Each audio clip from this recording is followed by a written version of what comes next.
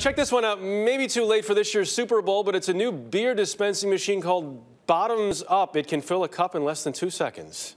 Impressive. The unofficial record is 56 draft beers in one minute, which should help cut some long lines at the ballpark or the, uh, or the stadium. Cheers